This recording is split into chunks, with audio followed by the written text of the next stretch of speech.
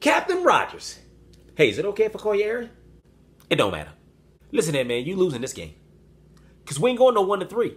We lose this game, I, I break your house and steal all your TV remotes. I, I, know you're not talking, Rodgers. You out there looking like the scarecrow out there on the field. Every time somebody touch you, you hurt. Man, they say the official threw the flag for holding. They said you picked up the flag through the back of the official and called roughing the passer. You know why you're gonna lose, Rodgers? Because we can't. L- Listen, man, I understand that y'all 3 and 0, but for us, this is a must win. So y'all winning streak gotta come to an end. You don't even sound right trying to talk tough. See, the problem is your heart is tough, but your body's sensitive. And I, I don't think your mind knows that. And, and uh, mind is a terrible thing to waste. Listen, if we lose this game, I'm gonna break in your house and clog up all your talk. Why? Cause I ain't got shit to do. You know what? We, we gonna beat y'all by 30. That- that's right, I said it. So listen, Agholor gonna be out there catching babies like an abortion clinic.